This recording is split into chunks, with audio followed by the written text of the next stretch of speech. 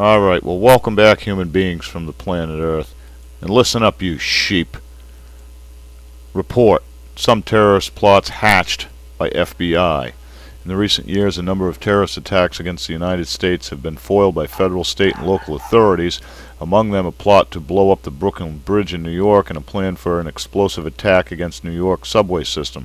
The New York Times reports that a number of these plots may have been initiated by the FBI, and though they fall short of entrapment, they may well have never been developed without the FBI's direct encouragement.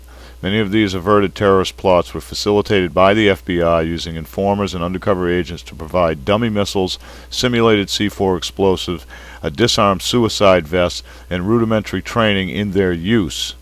Now listen here. I'm not paying for this, okay? And you goddamn sheep need to stop paying for this. We're not paying to create scenarios of terrorism so we can stop people from doing it. You don't do that. Okay, you don't do that.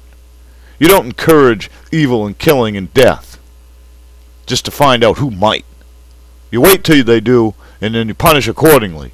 But you don't set it up. You don't make me pay for it. God damn it.